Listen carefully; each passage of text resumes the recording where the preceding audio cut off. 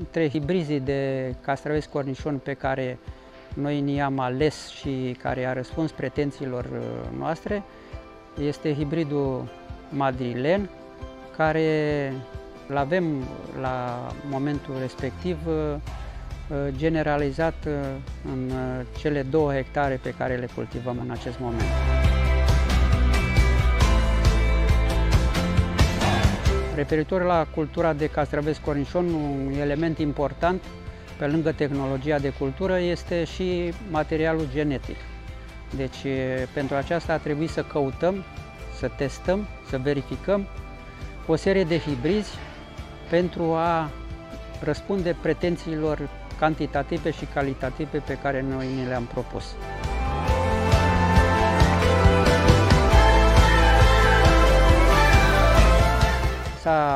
Comportat foarte bine în uh, cele două cicluri de producție, respectiv ciclu 1 și ciclu 2, pe care noi le practicăm în cadrul unui an, cantitate și calitate, după cum spuneam.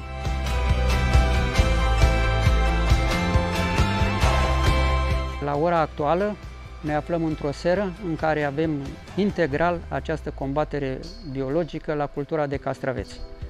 Eficiența acestui aspect de combatere biologică este pentru noi foarte bine cunoscut, în sensul că orice combatere chimică are o eficiență după tratament, pe măsură ce perioada de la efectuarea tratamentului trece și reinstalarea dăunătorilor este din ce în ce mai agresivă.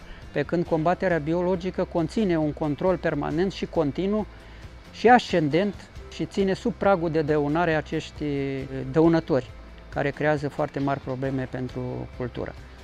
Asta este un aspect. Al doilea aspect, care este extrem de important și acesta, este faptul că produsele care se obțin și care merg pe masa oamenilor sunt uh, 100% sănătoase și libere de uh, reziduri, de pesticide.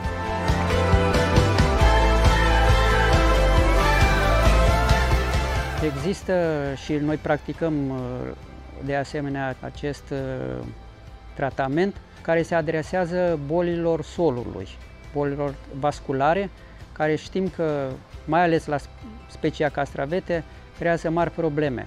Este vorba de trianul. Acesta controlează toate bolile vasculare cu, și noi, uh, de asemenea, din 2010 folosim acest tratament și se face la plantare odată cu formulare de trianum și în vegetație la fel cu altă formulare de trianum uh, care se aplică prin sistemul de irigare prin picătură.